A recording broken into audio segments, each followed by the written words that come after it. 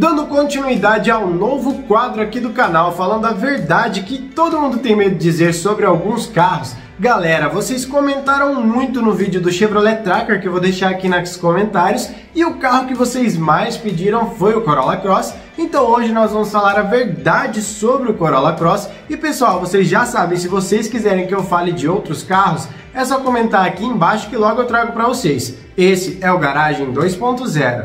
SUV intermediário que chegou primeiramente na Ásia e que em menos de um ano já se tornou um modelo global, o Corolla Cross é o SUV simplesmente do carro mais vendido do mundo, o Corolla. Veículo este que sempre foi mais conhecido aqui no Brasil como um 3 volumes e que logo se tornou um grande sucesso, assim como o sedã. O Corolla Cross hoje disputa um segmento muito lucrativo aqui no Brasil, o dos SUVs médios, atualmente com alguns concorrentes bastante competitivos disponíveis. E dentre todas as opções que nós temos por aqui, o Toyota é uma das primeiras da grande maioria, figurando hoje como o segundo SUV médio mais vendido do Brasil, perdendo somente para o Jeep Compass, que lidera desde que foi lançado com produção nacional em 2016. Tendo entendido um pouco mais sobre o Corolla Cross, vamos agora saber a verdade sobre ele, principais defeitos, qualidades e se no final vale a pena comprar o SUV de entrada da Toyota no Brasil hoje.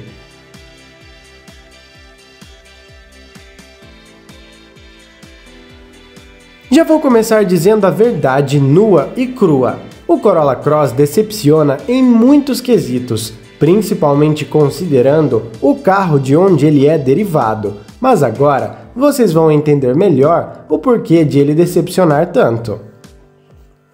Montado exatamente sobre a plataforma do Corolla Sedan, o Cross é nítido que não tem lá tanta diferença estrutural em relação ao 3 volumes, e fica mais nítido ainda quando abrimos o capô e vemos que o motor é posicionado bem abaixo dentro do cofre, praticamente na mesma altura do sedã, e dá para ver nas laterais internas as adaptações para deixar o SUV mais bombado, mesmo aproveitando a mesma posição baixa do motor do sedã. Derivado do excelente Corolla, nós, é claro, esperamos que ele traga tudo de bom que o sedã médio entrega por aqui.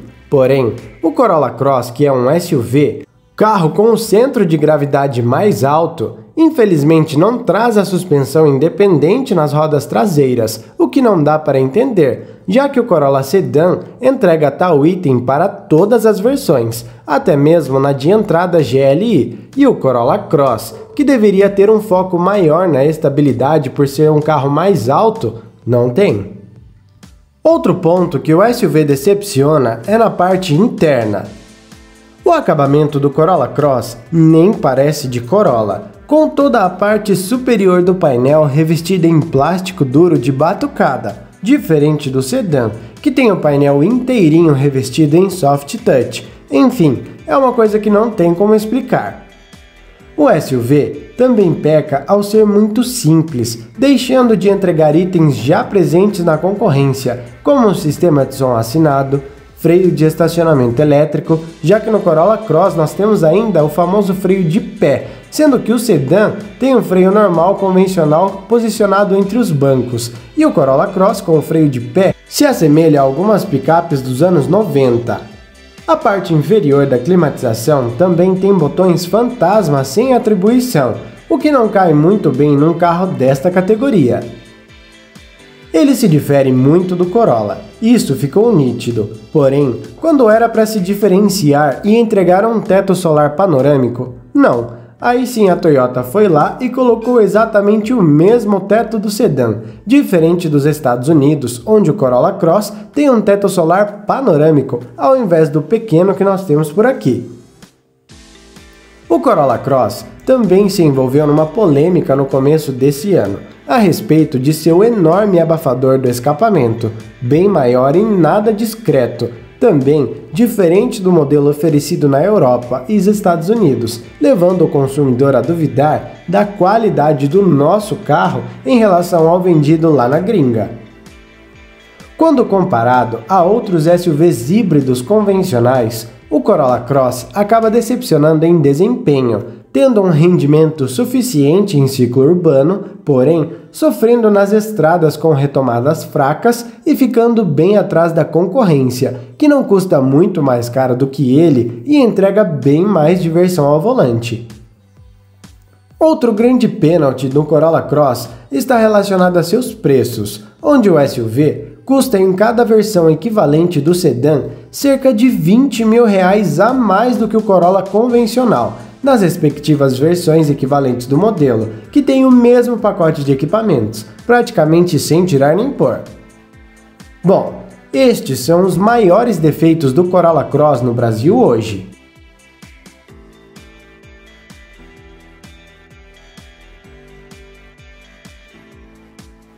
O Corolla Cross é um carro que também merece elogios por suas qualidades, e uma delas é o excelente desempenho do conjunto 2.0 aspirado, que nem parece não ser um carro turbo. O conjunto 2 litros de 4 cilindros flex conta com injeção direta de combustível e gera bons 177 cavalos e 21,4 kgfm de torque acoplados a uma transmissão automática CVT de 10 marchas, sendo que a primeira é mecânica para entregar ainda mais força em acelerações. Tudo isso faz o Corolla Cross ir de 0 a 100 em bons 9,8 segundos, bem impressionante para um carro aspirado. Se o 2.0 agrada por seu desempenho, o 1.8 híbrido flex, que não anda nada, entrega excepcionais médias de consumo. O SUV, nas versões híbridas, consegue fazer ótimas médias de 17,8 km com litro na cidade com gasolina e até 14,7 na estrada, segundo o Inmetro. Ou seja, você pode até fazer melhor ou pior, dependendo de condutor para condutor. O Corolla Cross também manda bem no conforto a bordo, levando muito bem a família com uma suspensão macia e boa altura em relação ao solo, tudo que uma pessoa que está procurando um SUV hoje em dia quer. Resumidamente, o Corolla Cross chegou ao Brasil para ser um Corolla SUV, Porém, ele acaba não exercendo bem esta função, e para complicar ainda mais a sua situação, ele acaba sendo pior do que o sedã em quesitos onde o 3 volumes é muito bom, que no caso são a estabilidade e acabamento interno.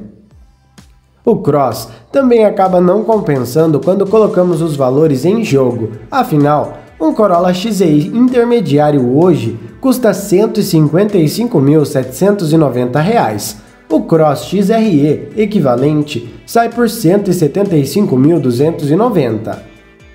Um Corolla Sedan Altis Hybrid Premium, que é o topo de linha, está custando hoje R$ 193.590, enquanto o Cross, na configuração topo de linha XRX Hybrid, é tabelado em R$ 210.990. Ou seja, você paga bem mais caro no SUV e de quebra ainda tem desvantagens em relação ao sedã. Sendo assim, a conta não fecha e pelo menos hoje, antes da atualização esperada tanto para o Corolla Sedan quanto para o Corolla Cross que ganharão aprimoramentos para o ano que vem, hoje o Corolla Cross não é uma boa compra. Para quem quiser um Corolla ou um Toyota em si, vá no sedã que não tem erro, afinal, ele é muito melhor do que o SUV. Mas e aí galera, o que vocês acharam da verdade sobre o Corolla Cross? Comenta aqui embaixo sua opinião e comenta também qual o próximo carro que você quer ver nesse quadro. Curte o vídeo, ative as notificações, se inscreve no canal pra gente chegar logo no meio milhão de inscritos. Eu vou ficando por aqui e valeu!